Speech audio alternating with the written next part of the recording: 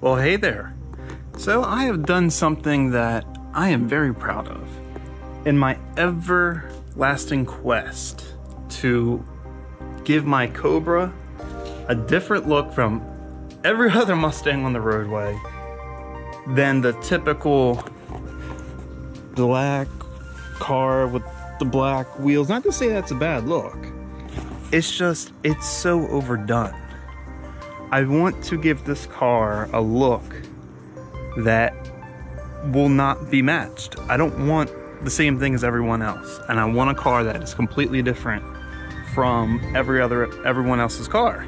I want to be I want to stand out from the bunch. And I want to be unique because that's who I am and that's what I'm all about. And these cars are an extension of my personality. So I would love to give this car a look that is different from the rest. And the first things I have done to do that are put these GT500 inspired inspired. fenders fiberglass fenders on the car to have you know these vents and stuff. But you know that was nice. What really set this apart was the GT the 2020 GT500 style hood I think that's what makes this look really nice but that wasn't enough so I ended up getting a few more parts uh, that make it look a little bit more different. So let me show you those.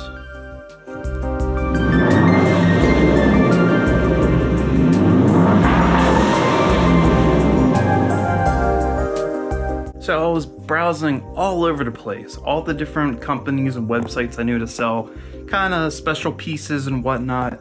I'm trying to think, what can I do to make it stand out even more? Like now, great, I have cheap fiberglass parts that anyone can buy. What can I do to make it different? And I'm like, well, the GT500 hood is cool, but I really love features on the GT350. In fact, I would love a GT350 if I could. So I'm like, how can I incorporate GT350 styling into my Cobra that already now has GT500 styling? Well, I went on eBay and I found these. So these right here, well, there's two, but this right here is a scoop that's like the GT350 scoops.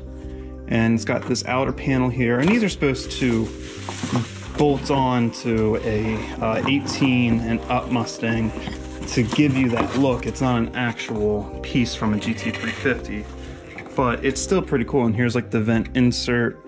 So you can see where, you know, this has some cool styling, but I'm like, okay, well, that's great, but how can I take that a step further? Well, eBay comes in play again, and this time for a huge score. I was actually really hesitant about these at first, but these are some really really nice, surprisingly nice fender flares off eBay um, from a seller here in the US that sold that sells four of these very nice plastic nice thick plastic mind you uh, fender flares for $20 or it's like 26 but still $26 for four fender flares? Are you kidding me? So, I got the fender flares, and I have these GT350 scoops. Now, how in the hell am I gonna make that work on my car? Let me show you.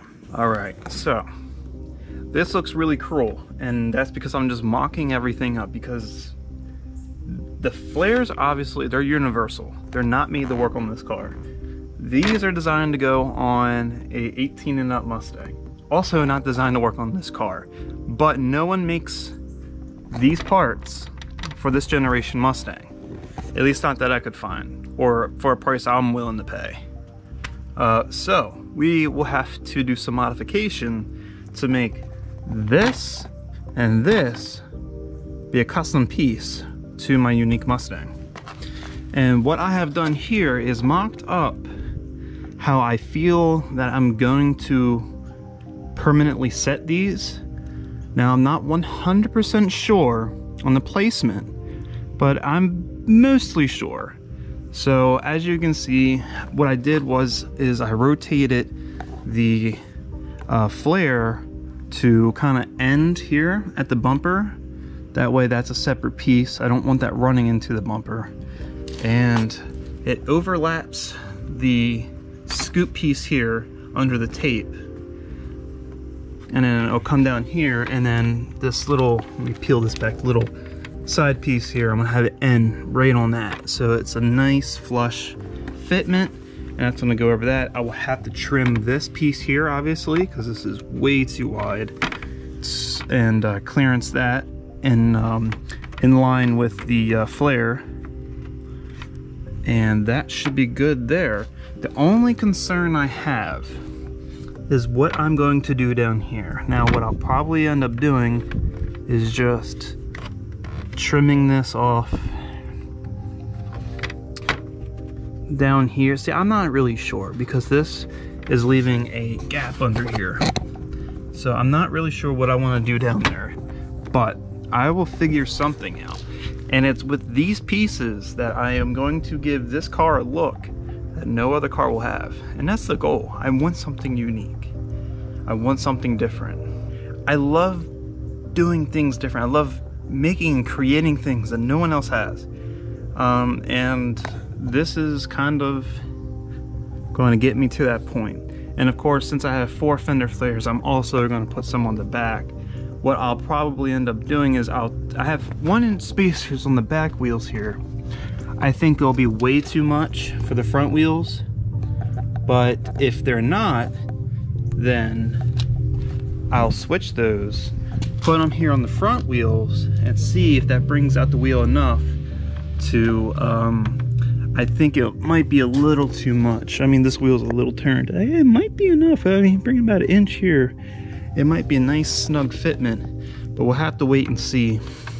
Because if that works, then all I have to do is get slightly wider spacers for the rear wheels, and that will give me a much wider stance, which is also what I want. Because if you look at the car from the front, you see that really gives some nice width to the car. And these fenders are a little bit more bulged than the factory ones.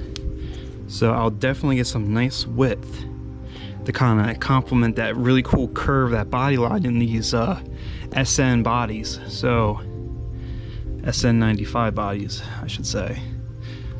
So in order to make these pieces uh, work some things have to be cut and uh, I got myself equipped with my PPE to get things cut. Um, so if you look over here, I need to make a cut here and basically follow the line, as you can see in this mold here, and just cut off that pointy tip piece. I don't need that.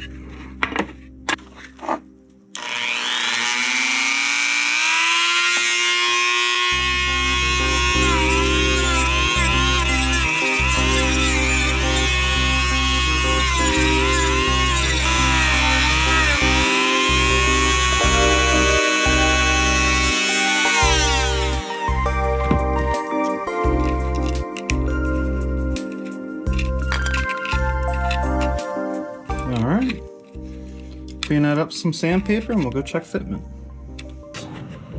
Things are a lot better, but I still have to take care of this piece here. This, what I think I will do is the beautiful thing of plastic, little heat and you can make it do things that it normally wouldn't do. So, see if I can get this kind of temporarily placed and then get my heat gun, see if we can bend that piece in, taper it in. All right, so I got the heat gun and I kind of just got this all taped together for now. It will be uh, glued together at some point, but what I need to do is hopefully this will do it without actually screwing this piece up. But I hope if I heat the back of this up or just heat this piece up, I'll be able to roll it with around this curve here. So this will create a, this will sit flush against the body instead of just kind of being an open gap. That is what I'm hoping happens.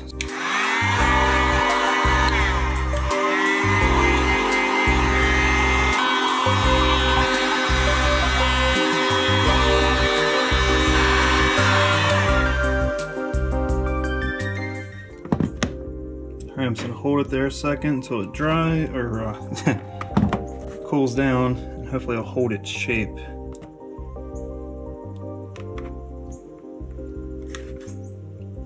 Alright, so there we go. Now we have a nice turn here around and it wraps around that piece. Looks like it was made that way. So go ahead and set that up against the car and see how it looks. Alright, so that is a lot nicer. As you can see, it kind of rolls underneath there. And it doesn't look like it just stops. And it actually ties into this body line right along here. So I think that will work. At least as best as it can.